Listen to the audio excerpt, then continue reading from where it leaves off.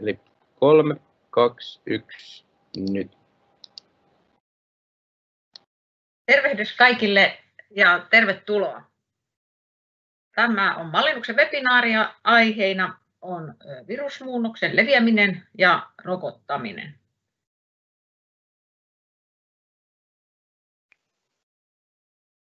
Ja esittäjänä on tosiaan täältä THLn mallinnustiimistä webinaarissa tällä hetkellä Anna Suomerinen Nordvik, tutkija, meidän nuorempi matemaatikko, ja Simo-Pekka Vänskä, erikoistutkija, meidän seniorimatemaatikko, ja minä olen Tuija Leino.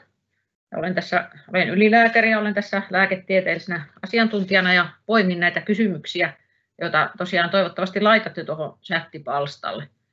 Yrittää niihin sitten vastaamaan tässä lopussa ja, ja joihinkin voin siinä jo webinaarin kuluessakin pystyä vastaamaan. Ja sisältö on tosiaan vaihtoehtoisia kehityskulkuja siitä, miten tämmöinen virusmuunnos Suomessa voisi levitä.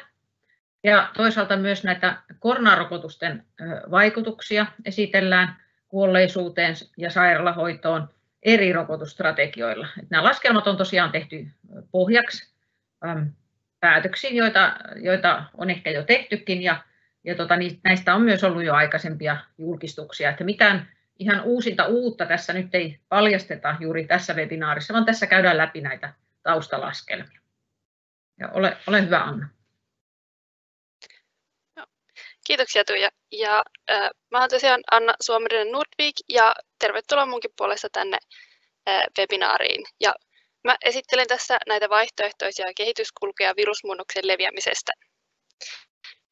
Ihan alkuun totean semmoisen asian, että näistä ää, malleista ja laskennan toteutuksesta on aiemmin pidetty, pidetty webinaareja, ja ne webinaarit löytyy, löytyy tämän linkin takaa, ja jos ne mallin yksityiskohdat kiinnostaa, niin ää, sieltä löytyy ne tiedot. Ja, ja tulen tässä esittelemään enemmän näitä mallin sovelluksia, enkä itse mallia. Ja samalle sivustolle tulee myös linkki, josta saa ladattua nämä skenaarioiden laskemiseen soveltuvin osin tarvittavat koodit. Eli tämä virusmuunnos B117, eli tämä brittimuunnos, on kasvattanut osuuttaan koronavirustartunnoissa monissa Euroopan maissa. Ja tämä on aiheuttanut huolta, koska uuden muunnoksen tartuttavuus on arvioitu olevan noin puolitoista kertaa tavanomaiseen viruksen tartuttavuuslukuun verrattuna. Ja tässä esitetyt laskelmat toteutettiin siis tässä tammikuun puolessa välissä. Ja tavoitteena oli selvittää, miten virusmuunnoksen mahdollinen leviäminen sitten tapahtuisi, tämän virusmuunnoksen mahdollisen leviämisen vaikutuksia Suomessa ja lisärajoitusten vaikutus sitten tämän virusmuunnoksen tuomiin haasteisiin. Eli aloitan tästä ensimmäistä nytten, eli miten tämä leviäminen sitten mahdollisesti tapahtuisi. Ja tätä selvitettiin täm, tällä, tällä tavalla skemaattisesti, eli tästä tämmöinen niin teoreettinen malli, jossa on että näissä kuvissa on sinisellä nyt tämä vanha viruskanta, ja sen tartuttavuuslukua, eli tätä R, joka tuossa noiden kuvien yläpuolella näkyy, sitä varjoitiin ja katsottiin, miten se sitten vaikuttaa tämän uuden viruskannan leviämiseen. Ja se on nyt tässä kuvissa piirrettynä punaisella. Ja tuo musta viiva on sitten näiden kaikkien tartuntojen ö, yhteismäärä. Ja oletuksena tässä ö, ö, analyysissä on nyt se, että vanhan kannan tartuntojen suhde muunnoksen tartuntoihin oli tässä alkutilassa sadan suhde yhteen, eli niitä oli prosentti niitä uuden kannan tartuntoja, ja kannat tuottavat ristisuojaa. Ja jos katsotaan tuota vasemman puolesta kuvaa nyt, niin tässä alussa tämä sininen uusi, anteeksi, vanha viruskanta dominoi edelleen tilannetta ja, ja tartunnat ovat laskussa. Ja sitten tuo punainen viiva, eli tämä uusi kanta, lähtee kasvattamaan osuuttaan. Ja sitten tuon kohdan jälkeen, missä nämä punainen ja sininen viiva risteävät, niin sen jälkeen uusi kanta dominoi sitten epidemiaa ja kasvu on aika jyrkkää. Ja tuossa lopussa näkyy tuo kaikkien tartuntojen määrän lasku, ja se nyt johtuu siitä, että nämä, näitä alttiita on sitten liian vähän väestössä enää. Eli epidemian kasvu sitten päättyy siihen. No sitten tämä keskimmäinen kuva kuvaa tilannetta, missä tämän vanhan kannan tarttuvuusluku on hieman korkeampi, eli 1,1. Ja alussa nähdään tuossa, että toi tartuntojen kokonaismäärän kasvu on aika aika tota, lievää. Mutta sitten kun tämä uusi kanta alkaa dominoimaan, niin sitten tämä on sitten jyrkempää se kasvu. Ja viimeiseksi on tämä tilanne, missä vanhan kannan tarttuvuusluku on 1,3 ja kasvu on alusta lähtien aika jyrkkää ja sitten se ei itse asiassa enää sitten siitä nopeudu, vaikka uusi kanta alkaakin dominoimaan, koska tämä alttiiden määrä on jo ennen sitä vaihtokohtaa sitten alkanut laskemaan. No, mitä tästä sitten nyt opimme tässä, että kaikissa näissä tilanteissa tulee hetki, jolloin tämmöinen tasapainohetki, jolloin molempia kantoja on yhtä paljon. Ja itse asiassa huomattavaa tässä nyt on, että tämä tasapainohetki tulee kaikissa kolmessa tilanteessa noin kolmen kuukauden kuluttua. Ja erityisesti nyt kiinnitän huomioon tätä, tähän vasemmanpuoleisen kuvaan, missä epidemia on jo laskussa, mutta silti sitten tulee tämä hetki, jolloin, jolloin kantoja on yhtä paljon ja uusi kanta pääsee niskan päälle. Eli Tämän sitten äh, on, vahvistaa Tanskan data, jossa on sekvensoitu yli 20 000 tapausta. Ja äh, vasemmalla nyt nähdään äh, kaikkien tapausten lukumäärä, eli sinisellä on nämä muut kannat ja punaisella tuossa on sitten tämä B117 kansa, kanta. Ja nähdään, että viikon 51 jälkeen nämä kaikki tapaukset, ää, tapausmäärä on ollut laskussa, mutta sitten jos katsotaan keskimmäistä kuvaa, niin muunnoksen osuus on noussut eksponentiaalisesti rajoituksista huolimatta. Eli ähm, vaikka rajoitukset ovat saaneet tartunnat laskuun, niin, niin muunnoksen osuus on noussut. Ja tuossa viimeisestä kuvasta nähdään nyt, että rajoitukset ovat itse asiassa purreet sen verran, että muunnoksen tapausmääräkin on lähtenyt hieman laskuun, mutta silti se osuus on, on kasvanut tuossa viimeisessäkin havainnossa. Eli miksi tällä sitten käy? No, tässä on tämmöinen äh, taulukko, missä on nyt laittu esimerkin, äh, esimerkiksi kuinka monta jatkotartuntaa 10 tartuntaa keskimäärin aiheuttaa. Eli jos katsotaan vanhaa kantaa, jolla on 1,2 1,2 tartuttavuusluku, niin sellaiset 10 tartuttajaa tartuttaa 12 uutta ihmistä. Mutta sitten jos katsotaan 50 prosenttia tartuttavampaa kantaa, niin he tartuttavat 18 ihmistä. Ja vastaavasti, jos vanhan kannan R on 1, niin 10 tartuttajaa tartuttaa 10 henkeä, mutta tartuttavamman kannan kantajat tartuttavat sitten 15 henkeä. Ja erityisesti tuo viimeinen, missä vanhan kannan tartuttavuusluku on 0,4, niin 10 tartuttaa, jolla jolla on tämä vanha kanta, tarttaa vain neljä kappaletta, mutta sitten tarttuvampi kanta kuitenkin kuusi. Ja tästä huomaamme, että oli R mikä tahansa, tartuttavampi kanta voittaa osuutta kertoimensa mukaan. No sitten näiden vaihtoehtoisten kehityskulkujen laskuun, niin ensinnäkin mitä ne ovat. Vaihtoehtoiset kehityskulut, joita kutsutaan myös skenaarioiksi, ne havainnollistavat epidemian mahdollisia kulkuja tulevaisuudessa, kun yhteen tai useampaan vaikuttavaan tekijään liittyy epävarmuutta. Ja oletukset, mitä ollaan tehty sitten näissä laskelmissa, on, että tämä malli on kalibroitu ää, tammikuun 17. päivän dataan, eli se tarkoittaa sitä, että, että malli on sovitettu siihen dataan sillä tavalla, että se tuottaa samanlaisia arvoja kuin ollaan havaittu. Ja ää, oletuksena sitten on ollut, että kontaktit pysyvät nykytasolla. Ja nämä laskelmat on tehty ilman rokotuksia, ja rokotuksista Simo-Pekka kertoo sitten enemmän myöhemmin. Ja sitten kun ollaan tässä mallissa äh, mallinnut näitä lisärajoituksia, niin ollaan tehty sillä tavalla, että tartuttavuusluku laskee 25 prosenttia sitten neljän viikon ajaksi. Et se on ajateltu semmoiseksi realistiseksi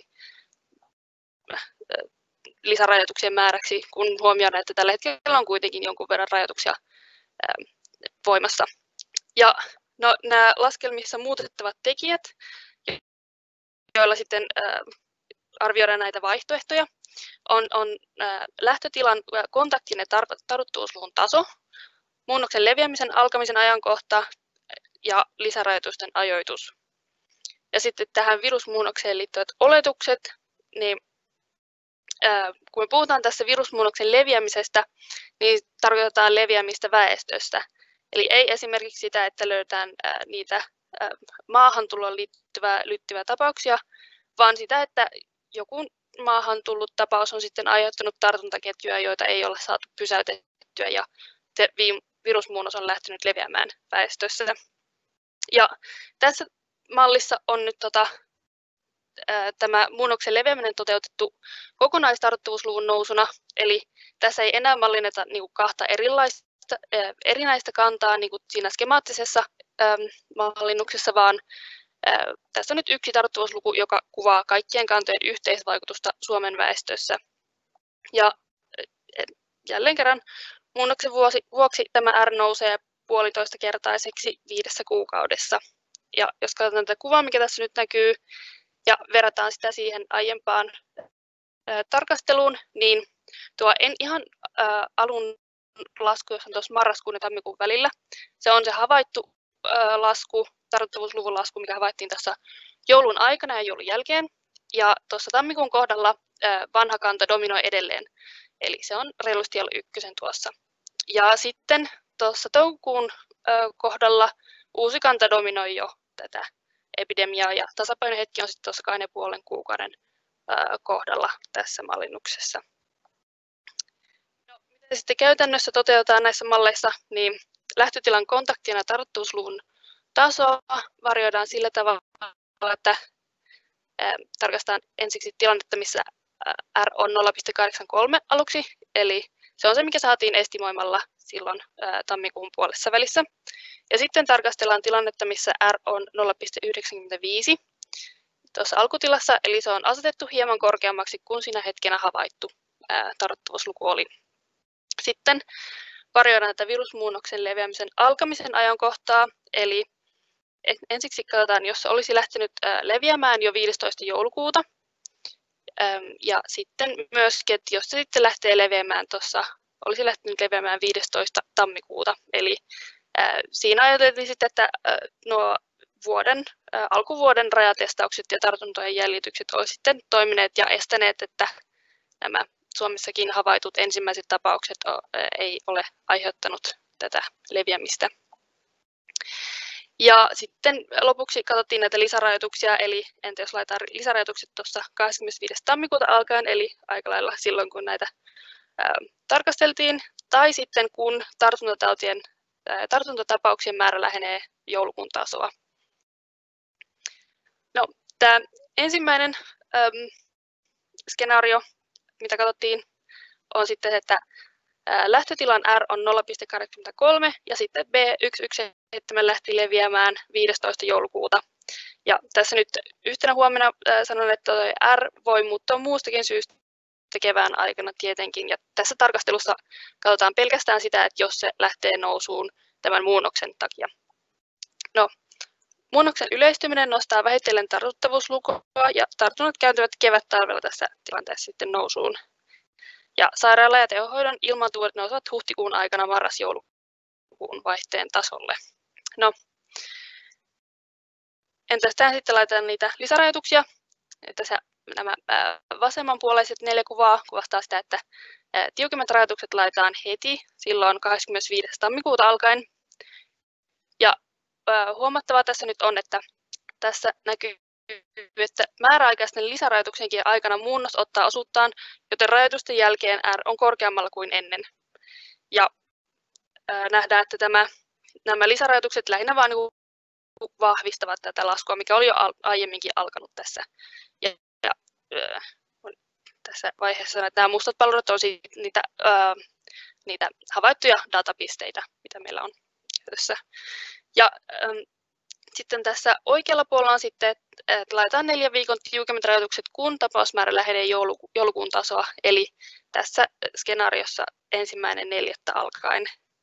Ja molemmissa skenaarioissa on huomattava, että mahdollinen tarve lisärajoituksille tulee mahdollisesti sitten toukokuussa. Lisättiin rajoituksia heti tai sitten myöhemmin. No. Entä jos tarkastellaan samanlaista tilannetta, mutta virusmuunnos lähti leviämään vasta 15. tammikuuta?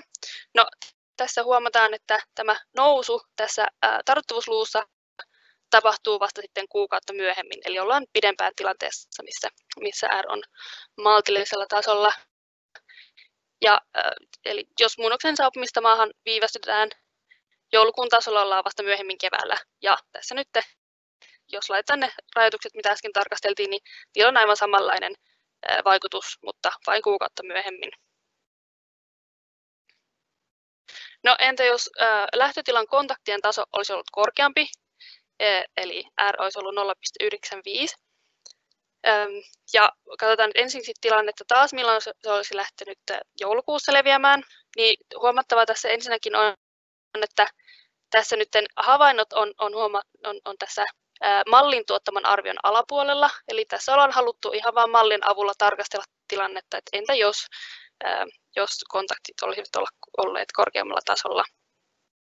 Ja muunnoksen osuus on merkittävä myös tässä skenaariossa vasta kevät-talvella, mutta kasvu on tullut jyrkempää kuin aiemmissa skenaarioissa.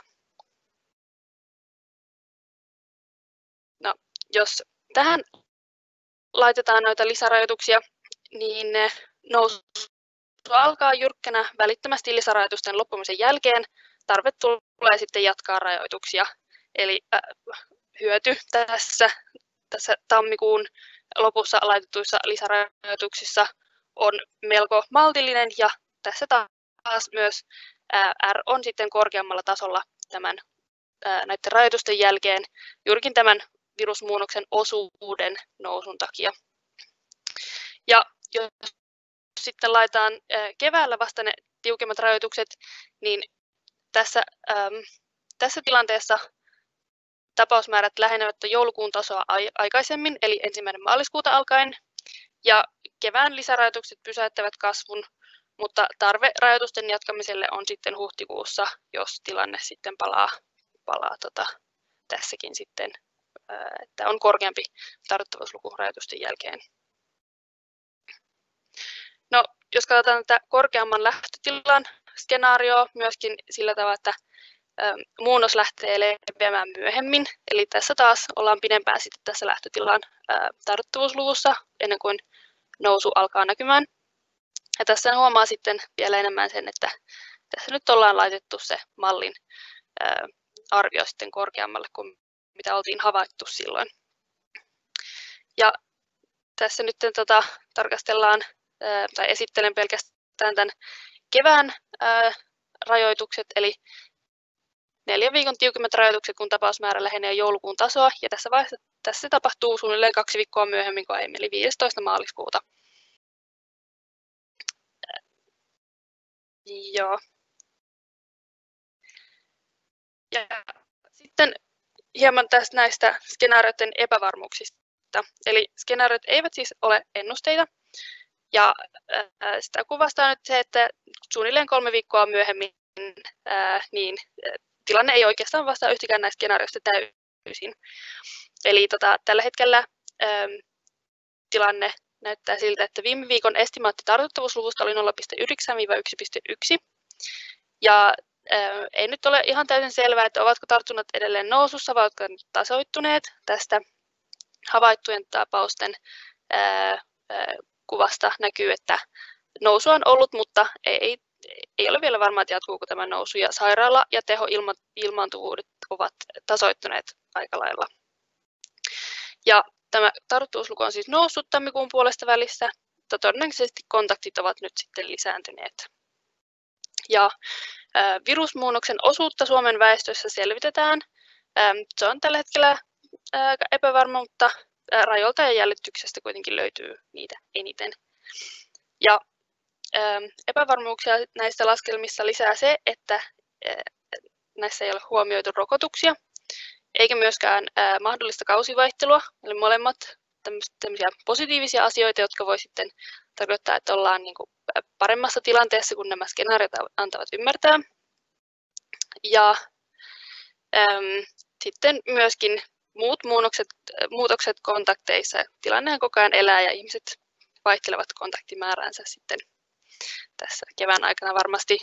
Ja näissä laskelmissa kannattaa huomioida se, että tässä on oletettu, että se lähtee joka tapauksessa leviämään viimeistään 15. tammikuuta. Ja tästä tosiaan on nyt sitä epävarmuutta.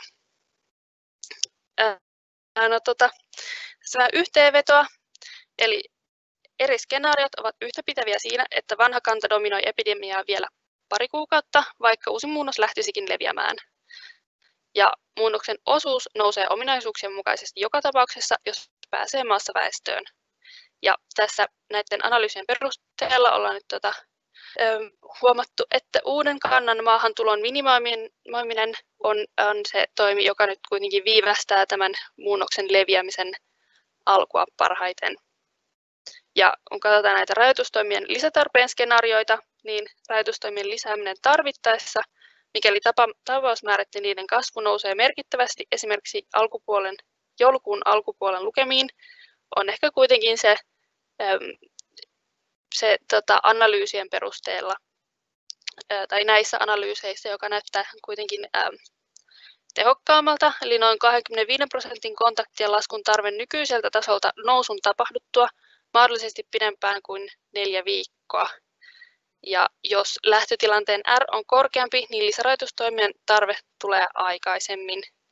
Jos näitä verrataan tämmöiseen ennaltaehkäisevään määräaikaiseen lisärajoituksen skenaarioon, niin jos muunnos on päässyt väestöön, niin se ottaa osuuttaan myös sulun aikana. Ja sulun jälkeen R on sitten suurempi kuin ennen sulkua, josta seuraa, että epidemia kääntyy kasvuun sulun jälkeen ja mahdollisesti tulee sitten uusi tarve sululle. Ja tämän perusteella voidaan sanoa, että ennakoivan sulun hyöty on kyseenalainen, koska se sitä virusmuunnoksen leviämistä ei nyt todennäköisesti kuitenkaan estä. Ja, jo, tässä oli nyt minun osuus. Kiitoksia kuuntelitte ja, ja Simo-Pekka jatkaa tästä nyt niistä tästä rokottamisesta.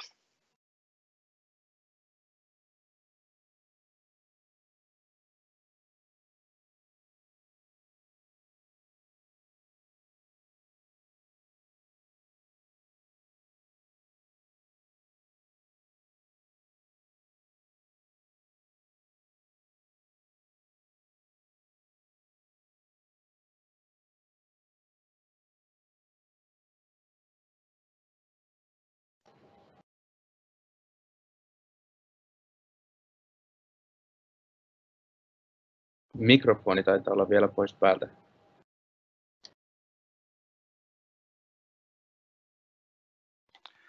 Kiitoksia.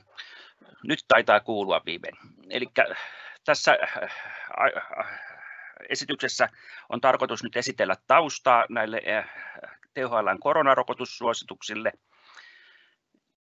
joita on annettu viime viikolla, jossa oli siis puhetta oli tästä toisen annoksen annosvälin äh, pidentämisestä ja sitten toinen oli 70 plus-vuotiaiden rokottamisen äh, niin kuin mRNA-rokotteiden kohdentamisesta 70 plus-vuotiaisiin. Ja miksi sitten toista annosta voi ylipäätään harkita siirrettäväksi? Tämä nyt tämmöinen yleinen näkökulma ylipäätään rokottamisesta.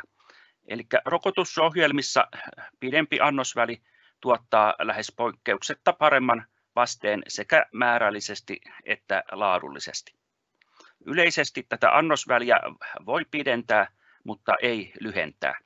Ja nyt jos katsotaan tätä oikeanpuoleista kuvaa, siinä on tämmöinen tyypillinen vasteen kehittyminen rokoteannoksilla. Kun annetaan ensimmäinen rokoteannos, niin immuniteetti voisi sanoa, että jollakin tavalla herää ja syntyy, syntyy tämmöinen vaste jonka äh, sitten äh, tulee huippu ja arvo lähtee laskemaan äh, sillä tavalla, että se tasaantuu jonkin ajan päästä. Ja sitten annetaan toinen annos, niin, niin tota, tämä vasta-ainetasot nousevat sitten jyrkemmin ja sitten laskevat ja asettuvat sitten jollekin yleensä hieman korkeammalle tasolle. Mutta nyt siis tämä, että yleisesti väliaikoja voi pidentää, mutta ei lyhentää, viittaa siihen, että kun tässä ensimmäisen ja toisen annoksen välissä tämä immuniteetin tulee jollakin tavalla ikään kuin kypsyä, jotta sitten siitä toisesta annoksesta saadaan maksimaalinen hyöty. Siihen viittaa tämä asia. No nyt kun koronarokotteita on haluttu mahdollisimman nopeasti ottaa käyttöön, niin silloin tietenkin on pyritty siihen, että mahdollisimman niin kuin lyhyellä välillä saataisiin testattua, jotta sitten saadaan tehotulokset nopeasti esiin, eikä ole tavanomasta laajuudella pystytty tutkimaan sitä aikataulusyistä, että mikä nyt sitten olisi mahdollisimman optimaalinen väli. Siihen liittyen nämä annosvälit ovat niin kuin sieltä lyhyemmästä päästä näissä tutkimuksissa. Ja nyt tässä alhaalla on viitteitä käytettävissä olevilla rokotteilla teho on hyvä jo yhdelläkin annoksella. Toinen annos tarvitaan nimenomaan pitkäaikaisen suojan saavuttamiseksi. No sitten toinen lähtökohta on tietenkin tämä, että mikä on koronatautien ilmaantuvuus ja kuolleisuus väestössä. Tässä vasemmanpuoleisessa kuvassa on ilmaantuvuus ikäryhmittäin 100 000 kyseisen ikäryhmän henkilöä kohden viikoittain. Ja nyt sitten eri värit ovat sininen on erikoissairaanhoidon vuodeosastolle joutuminen, vihreä on tehohoitoon joutuminen ja rusehtava on sitten kuolema. Ja nyt jos katsotaan, ja oikealla puolella kuvassa on sitten koko epidemian ajalta yhteensä havaitut koronatartunnat yhteensä 100 000 kyseisen ikäryhmän henkilöä kohden. Nyt jos katsotaan tätä sairaalahoitoon joutumista, niin se kasvaa tällä tavalla melko lineaarisesti iän mukana niin, että, että tota, iän noustessa sairaalahoitoon joutuminen tyypillisesti lisääntyy. No sitten jos katsotaan kuolleisuutta, niin siinä käy, tämä ikäriski on oleellisesti toisen näköinen niin, että se keskittyy erityisesti tänne kaikista korkeimpiin ikäryhmiin niin, että se räjähtää jossakin mielessä niin kuin täällä korkeimpiin ikäryhmiin. Ja tämä on hyvä huomata, siis tämä on nimenomaan tämä nykyinen ilmaantuvuus, joka on siltä pohjalta, että nämä korkeimmatkin ikäryhmät on jo melko hyvin ollut suojassa, mikä näkyy erityisesti täällä, että suhteessa heillä on aika vähän tartuntoja kuitenkin havaittu keski-ikäisiin esimerkiksi nähden. No sitten jos katsotaan rokoteammunnosten saapumisen skenaariota tässä laskelmassa, missä on katsottu näitä kysymyksiä, niin tässä on äh, sinisellä, sinisellä äh, on nämä mRNA-rokotteet, joita on siis nämä kaksi, ja sitten rusehtavalla on sitten tämä adenovirusvektorirokote, eli tämä AstraZeneca-rokote. Ja viikon yhdeksän asti oli jonkinnäköinen tieto näistä rokotteiden saapumisesta ja siitä eteenpäin on sitten puhtaasti arvio Toki tämä tietokin olemme havainneet, että se on jollakin lailla elänyt tässä viime viikkojen aikana. Mutta tässä on siis tämmöinen skenaario, missä nämä rokotteet tämmöisellä tietyllä rytmillä sitten saapuvat, mikä vastaa sitten siihen asti tullutta tahtia. Ja jos tällä tavalla rokotteet saapuvat, niin sitten rokotus, rokoteannosten lukumäärä kasvaa tällä tavalla melko lineaarisesti eri ajassa. Tässä nämä akselilla olevat lukemat ovat siis viikkoja x-akselilla. No, miten tätä on lähdetty tarkastelemaan? Edetään ihan laskelmassa viikko kerrallaan ja tarkasteluviikko on 35 asti. Ja aina kun meille saapuu annoksia sitten joka viikko tässä, tässä laskelman skenaariossa, niin ensin katsotaan, että onko ikäryhmiä, jotka ovat vuorossa saada toinen annos sen annosvälinsä mukaan. Ja nämä ikäryhmät käydään läpi sitten vanhimmasta ikäryhmistä alkaen. Ja näille annetaan rokotetta niin paljon kuin rokotetta riittää tätä toista annosta. Ja jos annoksista ei riitä, niin sitten se rokottaminen siirtyy seuraavaan viikkoon. No sitten mikäli näistä toisista annoksista nyt jää yli, niin sitten annetaan seuraavaksi niille, jotka ovat vuorossa saada ensimmäinen annos ja jälleen vanhimmista ikäryhmistä alkaen niin paljon kuin riittää. Vielä tästä laskennan toteuttamisesta. Kysymyksessä on tämän tapainen ikään kuin viikkokirjanpito rokottamisesta. Jokaisella ikäryhmälle on laadittu tämmöinen jonkinnäköinen ruudukko, jossa meillä aluksi ihmiset ovat tietenkin kaikki ei-rokotusta tilassa ja sitten, sitten tota, viikoittain siirrytään tässä ruudusta toiseen niin, että jos annetaan vaikka tätä, tämä sininen on mRNA-rokotteille, niin kun annetaan ensimmäinen annos, niin siirrytään sitten tähän ensimmäiseen annokseen ja sitten seuraavalla viikolla siirrytään niin kuin tähän toisen viikon tilaan, sitten kolmannen viikon tilaan ja sitten neljännen viikon tilaan ja kun sitten neljän viikon jälkeen annetaan se toinen annos, niin sitten siirrytään rokotettu toinen annosta tilaan. Tässä siis, jos olisi neljän viikon annosväli tällä rokotteella. Ja sitten tällä toisella rokotteella olisi sitten ensimmäinen annos annetaan ja taas viikoittain siirrytään täällä viikko-odotustiloissa. Pidetään siis kirjaa, että kuinka monta henkilöä on missäkin ruudussa ja viikoittain siirrellään heitä, kunnes sitten tulee toinen annos ja annetaan se toinen rokotusannos. Tältä kun on saanut toisen annoksen, niin sitten ei enää siirrytä mihinkään. Mikäli sitten ei riitä niitä rokotteita toiselle annokselle, niin siksi tuolla on tuo piste, piste, piste, jotta sitten pysytään siinä tilassa niin kauan, kunnes sitten se rokote saadaan.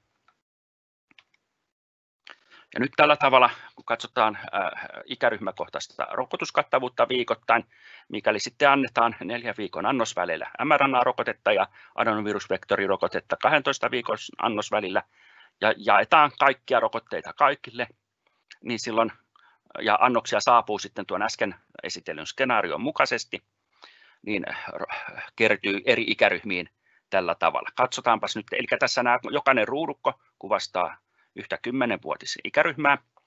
Katsotaan nyt vaikka tätä 80 plus ikäryhmää. Tässä nämä punaiset ovat siis ei-rokotettuja henkilöitä. Tämä Y-akselin korkeus, mikä tässä on, on sen ikäryhmän koko. Ja sitten tässä viikot 5-35 asti juoksevat. Ja kun ensin on annettu tummansininen on siis annos, että on annettu yksi annos mRNA-rokotetta, niin annetaan näitä saapumisen mukaan näitä ensimmäisiä annoksia. Ja sitten kun adenovirusvektorirokotteeksi saadaan markkinoilta tai käyttöön, niin sitten annetaan myös niitä adenovirusvektorirokotteita tässä tälle ikäryhmälle. Kun on sitten se neljä viikkoa kulunut, ruvetaan antamaan toisia annoksia, jolloin nämä henkilöt vaihtuu tummaan sinisistä vaalean siniseen tilaan, että ovat saaneet sitten sen annoksen kaksi mRNA-rokotetta. Ja sitten taas adenovirusvektorirokotteella siis se annosväli oli valmiiksikin jo 12 viikkoa tähän asetettu, niin sitten tuolla viikon 20 paikkeilla nämä ensimmäisellä annoksella rokotetut siirtyvät sitten tämän toisen annoksen saaneiden tilaan. Ja tällä tavalla, kun, kun ollaan päästy, päästy tässä, että on annettu nämä ensimmäiset annokset ja toisiakin annoksia täällä annettu näille 80-vuotiaille, niin sitten siirrytään tänne 70-vuotiaille ja sitten vastaavasti täällä lähtevät rokotteen saaneiden lukumäärät kasvuun ja kattavuudet nousuun. Ja kun taas täältä päästään eteenpäin, niin sitten mennään 60-69-vuotiaisiin. Näin niin kuin ikäryhmä kerrallaan tullaan alaspäin. Ja kun ollaan tässä laskelmassa ollaan siis viikko 35 asti menty, niin itse asiassa just ollaan saatu täyteen ensimmäisillä annoksilla tämä 50-vuotiaiden ikäryhmä tässä. Tämä viikko 35 sattuu muuten tuonne johonkin elokuun, syyskuun, elosyyskuun vaihteen tienoille. No sitten jos katsotaan tämmöistä niin kuin haarukointina toisenlaista vaihtoehtoa, että siirretään toinen annos jopa kauemmaksi kuin tämä viikko 35 niin, että tässä laskelmassa annetaan vain näitä ensimmäisiä annoksia. Eli tämä nimitys nyt tässä skenaariona on siirretty toinen annos. Tämä voi ajatella, että tämä on nyt jonkinlaista haarukointia. Tämä laskelma siis on pidempi kuin se THLn suositus. Ja annosväli tässä on siis pidempi kuin THLn suositus. Ja sitten toisaalta lisätään tähän myöskin tämä rajoitus, että 70 plus-vuotiaille annetaan vain mRNA-rokotetta. Ja jälleen saapuu sen äskeisen skenaarion mukaisesti rokotteet. Nyt täällä siis taas, jos 80 katsotaan, niin kertyy nämä ensimmäiset annokset tätä mRNA-rokotetta ja sitten päästään antamaan 70 tätä mRNA-rokotetta tai rokotteita, ja ne sitten kasvavat täällä kattavuus, jonka jälkeen viikolla 15 suunnilleen päästään aloittamaan sitten jo täällä sitten sitä nuoremmillekin näitä mRNA-rokotteiden antamista, mikäli sitten siihen päädyttäisiin. Ja nyt ehkä tässä nyt on hyvä huomata, että nyt kun annetaan vain näitä ensimmäisiä annoksia, niin päästään näissä kattavuuksissa tämän 35 viikon aikana jopa niinkin pitkälle, että 20 ikäryhmä olisi jo ensimmäisellä annoksella rokotettu siihen viikkoon 35 mennessä. Mikäli siis annokset saapuvat tuon aiemmin näytetyn skenaarion mukaisesti. No, tässä on nyt ihan kerätty sitten vielä taulukko siitä, että millä viikolla ikäryhmä on rokotettu vähintään yhdellä annoksella näillä kahdella, kahdella eri rokotusskenaariolla. Niin 80 plus-vuotiailla ei ole käytännössä mitään eroa. 70-vuotiaissakin on oikeastaan vain yksi viikko eroa. Sen jälkeen nähdään, että kun jos se toinen annos siirretään ja keskitytään nyt vain aluksi antamaan sitä ensimmäistä annosta, niin tämän laskelman kuluessakin jo, niin kuin tuolla äsken todettiin, niin eri ikäryhmät tulevat sit saaneeksi jo sen ensimmäisen rokotusannoksensa. No niin, mikä sitten olisi rokotusstrategioiden vaikutus sairaalahoitoihin ja koronakuolleisuuteen, erityisesti siis tämä toisen annoksen siirtäminen ja mRNA-rokotteiden rajat laittaminen 70-vuotiaisiin. No vielä kerrataan tästä nyt tästä kuolleisuuden kuvasta, miksi on hyvin luontevaa laittaa tuohon 70 vuoteen tämä raja, kun lähdetään niin kuin tästä tautitaakasta liikenteeseen.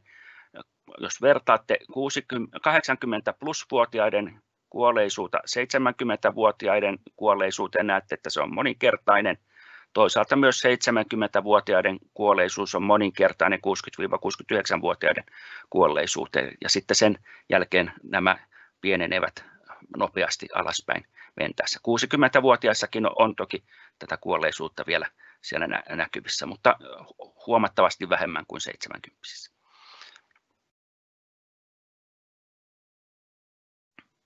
Nyt jos katsotaan näiden suojavaikutusten laskentaa. Tässä ensinnäkin sanon heti tämän näin, että tässä siis on lähdetty laskemaan vain tätä suoraa suojaa. Et ei ole otettu huomioon laimavaikutuksia, joiden laskemiseen tarvittaisiin transmissiomallia. Siinä mielessä tämä on tämmöinen niin kuin jossain määrin laskuharjoitustyyppinen tehtävä. Mutta jos katsotaan nyt näitä oletuksia, millä tähän on tehty. Ensinnäkin, jos katsotaan näitä by book, tavallaan tämä kirjan mukaan menevää rokotusstrategiaa, niin silloin tehot valmisteyhteenvedosta on otettu tähän lähtökohdaksi 95 prosenttia ja 60 prosenttia. Ja sitten jos toista annosta on siirretty, niin on jonkin verran laskettu tällä mRNA-rokotteelle tätä laskennassa käytettyä teholukemaa 90. Adenovirusvektorille on säilytetty tämä sama 60 prosentin teho myös tässä siirretyn toisen annoksen strategiassa. No, tämä teho, huomautan heti, että tämä teho vakavia tauteja vastaan VE on mahdollista, että se on niin kuin parempikin kuin esimerkiksi tässä tämä mainittu 60 prosenttia. Mutta tästä nyt on lähdetty tässä laskelmassa liikenteeseen. Ja sitten joko käytetään tätä virallista ää, ää, rokotusväliä, annosväliä, tai sitten siirretty annos, niin tämän laskelman kuluessa sitten ei tulisi lainkaan sitä. Ja sitten ää, Suojan, anta, suojan syntymisen viive ensimmäisestä annoksesta olisi sitten se, mikä aika kuluu siihen, että ensimmäisestä annoksesta ensimmäisen annoksen jälkeen alkaa se, tulee se suoja kehittyneeksi, niin on asetettu kolmeen viikkoon ja sitten neljään viikkoon tällä adenovirusvektorirokotteella. Ja tarkastellaan tosiaan viikkoja 5-35, ja tässä laskelmassa on nämä ennen viikkoa viisi annetut annokset mukana.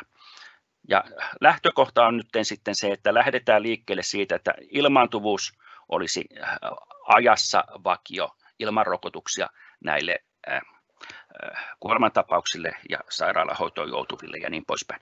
No äsken jo Annan esityksestä nähtiin, että siinä saattaa tapahtua muutoksia ja olemme toki nähneetkin niitä tässä pitkin vuotta erilaisia muutoksia mutta laske, äh, laskelman vertailukelpoisuuden vuoksi äh, käytetään tässä nyt vakioilmaantuvuutta. Niitä voi sitten mielessään miettiä, että mitä tapahtuisi, jos ilmaantuvuus nousisi tai laskisi. Suhteelliset osuudet pysyvät samana, koska käytetään suoran suojan laskemista vain tässä laskelmassa. Eli äh, miten tämä suora suoja lasketaan periaatteessa.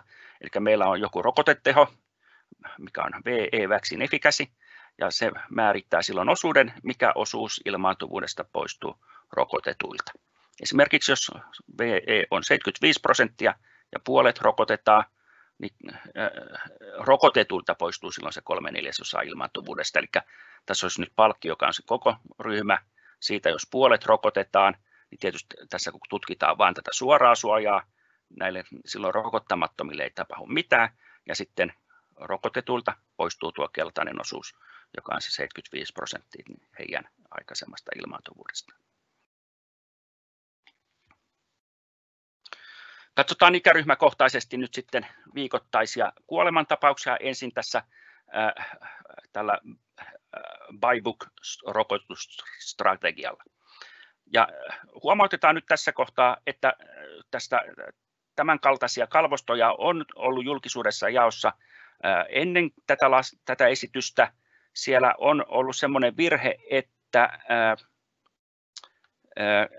näistä ennen tämän laskelman alkamista, kun tämä alkaa laskea viikolta viisi, eli siellä tässä on otettu tähän rokotuksiin mukaan myös ne, jotka on ennen sitä rokotettu, mutta he, he näkyvät siellä kyllä siellä rokotuskattavuudesta, mutta osalta heistä on niin kuin tämä laskennallinen suoja jäänyt pois ihan ohjelmointivirheen vuoksi, jotenka, jotenka nämä, nämä, tässä nyt näkyvät luvut ovat hieman alemmat kuin mitä siellä aikaisemmin julkaistuissa luvuissa näkyy.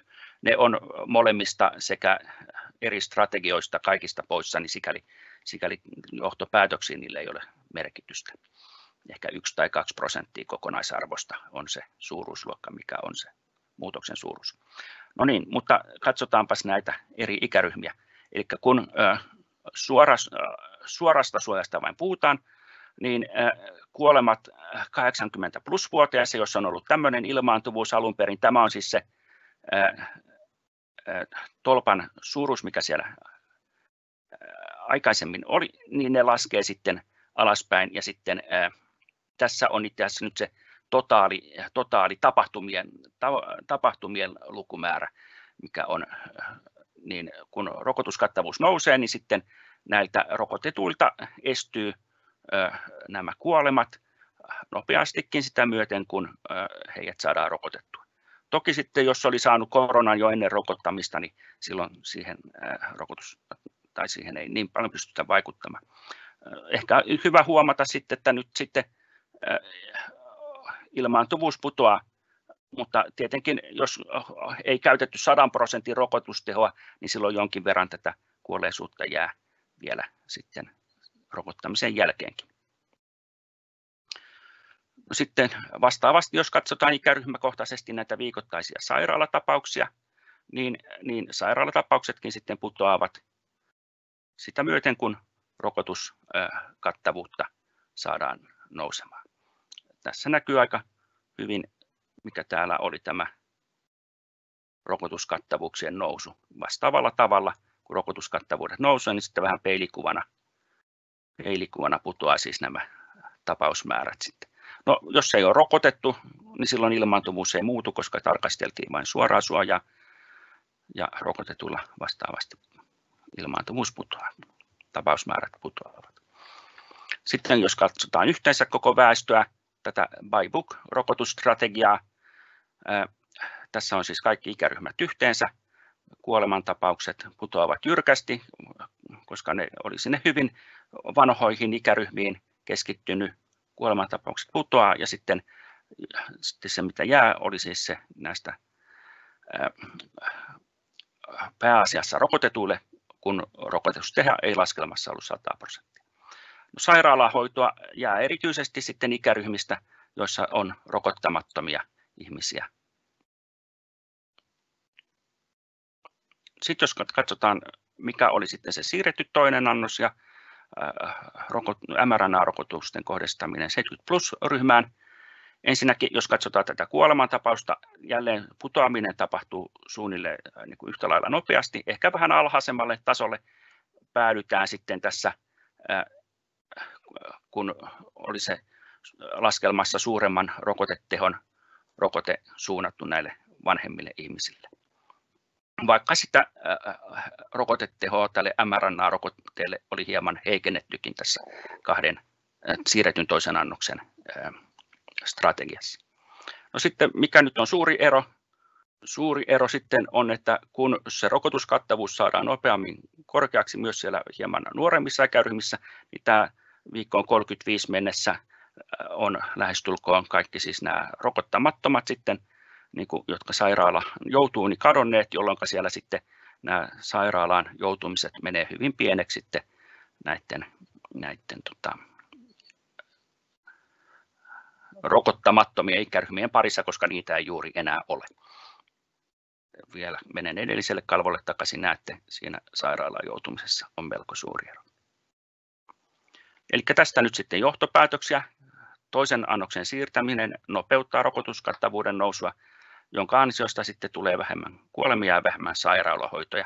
On hyvä huomata, että niille 50 prosentille, joille rokotteen saaminen viivästyy, niin sen viivästyksen ajalta rokoteteho on nolla. Ja tästä kävinkin aluksi keskustelua tai mainitsin näistä muista yleisistä syistä. Ja sitten 70-vuotiaille mRNA-rokotteen suuntaaminen, sillä jonkin verran edelleen vähennetään kuolemia, eikä sillä sairaalatakaan nostetakaan. Ja sitten mRNA-rokotteella on hieman varmempi tieto tehosta ikääntyneillä. Sen vielä sanon tässä kohtaa, että riskiryhmiä ei tässä analyysissä siis ollut sisällytetty tässä laskelmassa, mutta kohdentaminen riskiryhmiin nopeuttaa vaikutusta, koska riskiryhmistä erityisesti tulee tietenkin sitä tautitaakkaa. No, tämä THL kahden viikon annosvälin suositus ei ole täsmälleen kumpikaan noista edellä esitetyistä skenaarioista. Siinä siis alku menee hyvin samalla tavalla kuin siinä tässä,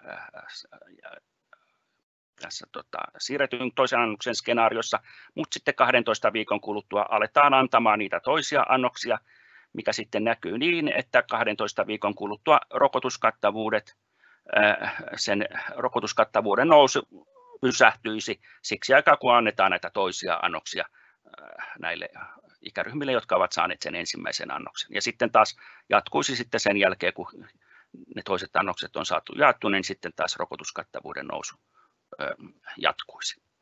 No, jos tästä miettii tätä, että millä tavalla tämä sitten näkyy tautitaakassa, samalla tavalla tässä tautitaakassa tämä alku, mikä oli erityisesti näihin kuolemantapauksiin, se menee samalla tavalla, mutta sitten tässä rokotuskattavuuden nousun pysähtyminen näkyy sitten nousun pysähtymisenä, laskun pysähtymisenä myös sitten näissä sairaalatapauksissa. Ja, ja sitten taas kun rokotuskattavuuden nousu myöhemmin jatkuu, niin sitten se laskukin jatkuu. No, tässä perusteluna on tietysti tämmöinen asia, että tässä koronaepidemiassa 12 viikkoa on osoittautunut kyllä hyvin pitkäksi ajaksi. Se, että saadaanko ehkä mahdollisesti on mahdollista, että tulisi enemmän rokotusannoksia, rokoteannoksia saataville jo niin kuin siinä kohtaa, kun tarvitsisi sitä toista annosta ruveta antamaan, jolloin pystyttäisiin jo sitä ensimmäistäkin annosta edelleen jakamaan uusille ihmisille. Voi olla jopa, että tulee uusia rokotteita markkinoille, niiden kehitystyö on kovassa käynnissä. Ja toisaalta voi tulla myös jotakin uutta tutkimustietoa näistä annoksista ja niiden tehoista.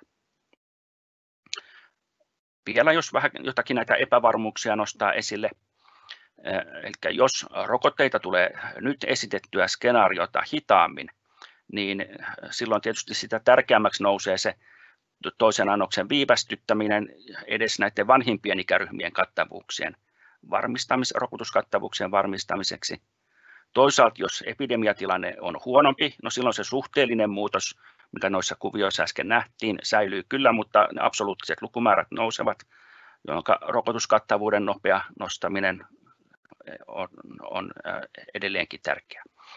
Ja toisaalta sitten, jos nämä uudet virusmuunnokset leviävät, niin kuin nyt vähän semmoisia viitteitä on, niin toisen annoksen viivästyttäminen mahdollistaa sitten myös sen, että tähän muunnettuun virukseen, se toinen annos, mikäli sitten kehitetään rokotteita, niin on mahdollistaa siis muunnettuun virukseen sovitetun rokotte, rokotteen antamisen, semmoiseen version antamisen.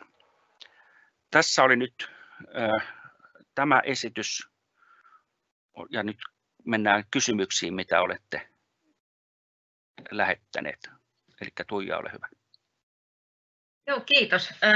Joihin kysymyksiin kirjoitinkin tuonne vastauksia, mutta, mutta tota, aloitetaan. Tänne mä säästin kyllä joitain kysymyksiä. Yksi on esimerkiksi tällainen, tämä on tullut jo siinä Annan esityksen vaiheessa, mutta voitte kumpi vaan vastata. Kysytään, että että tota, kun variantti on irti niin tarkoittako se, että yhdestä lähdetään liikkeelle, esimerkiksi yksi tartunta 300 päivittäisestä, vai miten voisi kuvailla tätä alkuasetelmaa siinä?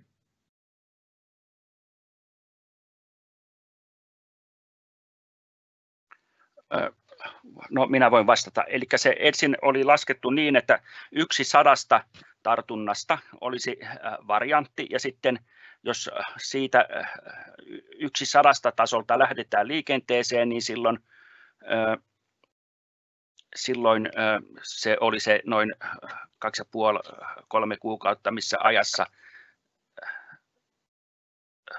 tämä 50-50 näiden muunnoksen ja vanhemman varian, tai tämän alkuperäisen virusversion välillä saavutetaan. Eli siinä lähdetään, lähdetään niin kuin noin yhden prosentin tasolta liikenteeseen. Joo. No sitten täällä on toinen kysymys, että onko syytä, miksei uudelleen tartuntoja tai rajan yli tulevia tartuntoja ole lisätty malliin? Mä siihen jo vähän vastasinkin, mutta, mutta Simo-Pekka, haluaisitko sä vastata siihen? Tai Anna, kumpi vaan?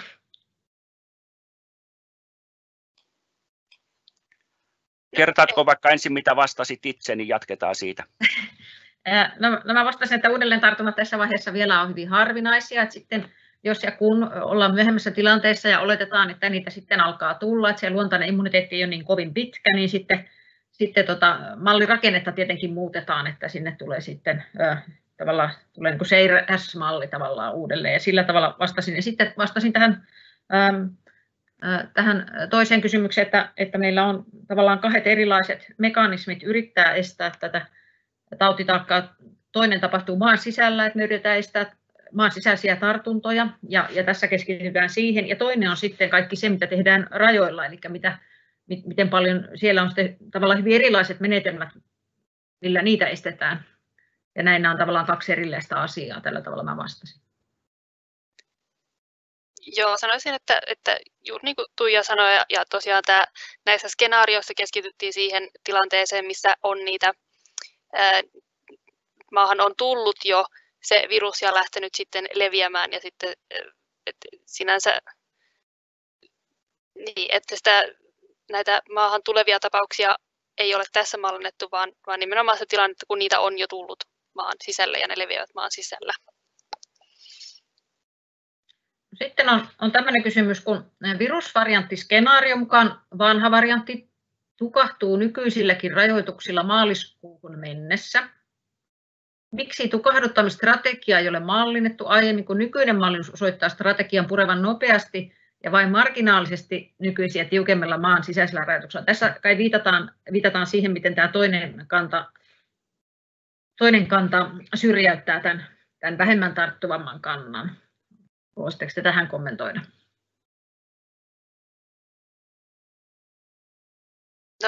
Mä voisin kommentoida tässä, että se ei sinänsä ole niin kuin mallinnettu semmoista tukahduttamistrategiaa, vaan siinä joissakin skenaariossa näkyy tämmöinen niin kuin, äh, tartuntojen lasku seurauksena siitä, että se, se lähtötilanteen R, äh, tartuttavuusluku oli alle ykkösen, eli siinä oli sitä luonnollista laskua. Tota, että se on sitten jää nähtäväksi, että tapahtuuko tämmöistä laskua itsestään vai, mutta ne, tosiaan ne, se lasku ei ollut, ei ollut tota, minkään tukahduttamisstrategian seurausta ja sitten siinä äm, näkyy myös semmoista, että sitten jos laitetaan tässä alkukeväästä niitä rajoituksia, ja, mutta virusmuunnos lähtee leviämään, niin sitten näiden rajoitusten jälkeen se, nimenomaan se virusmuunnos nostaa sitä ää, tartuttavuuslukua taas yli ykkösen, eli mahdollinen tukahduttamistrategia siinä vaiheessa on, on ollut vähän niin kuin yhtä tyhjän kanssa.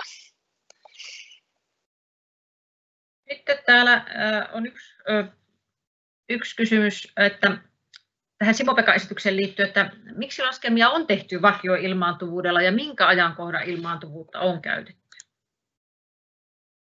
Joo, ilmaantuvuus oli siis laskelmassa äh, laskettu äh, marraskuun puolivälin paikkeelta, mitä sen jälkeen oli noin tammikuun puoliväliin ilmaantuvuus siltä ajalta, keskimääräinen ilmaantuvuus ja miksi käytettiin niin kuin, tiettyä ilmaantuvuutta. No, skenaarioitahan voisi laskea sillä tavalla, että ilmaantuvuus vaihteleekin siellä, mutta jos me halutaan, täytyy aina miettiä sitä, että mihin kysymykseen halutaan vastausta. Että jos me nyt haluttiin kysymystä siitä, että mikä rokotusstrategia nyt kannattaa tämän suojan suojan kannalta ottaa, niin silloin, silloin se on niin kuin ylimääräistä, ylimääräistä liikkuvaa palikkaa siihen malliin tätä kysymystä ajatellen.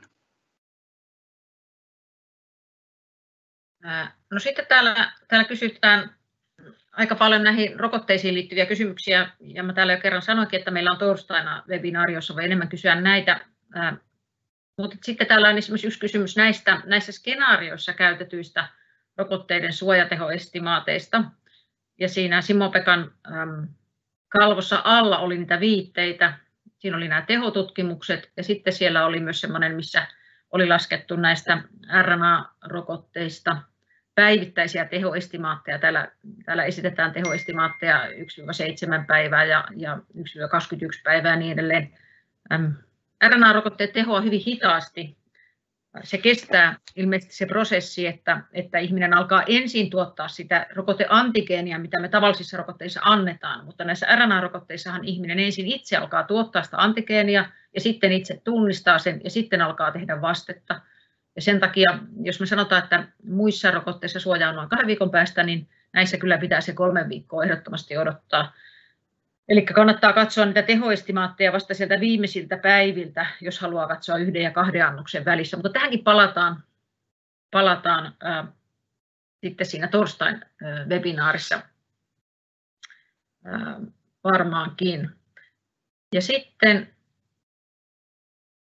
sitten täällä jossain sanottiin, että oli valitettavan, tämä oli aika alkuvaiheessa, että varmaan siinä Annan skenaariota tarkoitetaan, oli valitettavan optimistiset lähtöparametrit todelliseen kehitykseen verrattuna, niin haluaisitteko te näitä vielä kommentoida? Siinähän annettiin kyllä eri R-arvoilla, olettaen, että, että meidän tieto siitä R voi aina olla, tai siitä sen hetkisestä efektiivisestä R voi aina olla hiukan vinoutunut. Esimerkiksi joulun jälkeen meillä oli ongelmia siinä, että me mietittiin, että oliko ihmiset jättäneet käymättä testeissä joulun aikana ja oliko he tavanneet ehkä enemmän sellaisia ihmisiä, joita he muuten ei tapaa, eli oliko siinä, olisiko siinä ollut sellaisia uusia kontakteja paljon ja muita, että sen takia niitä, Anna esittelikin niitä siinä alussa useammalla R-arvolla, ja sitten tästä jo puhuttiinkin, että mikä, mitä oletettiin sen uuden variantin osuuden olevan, mutta haluaisitteko te tähän vielä jotakin sanoa?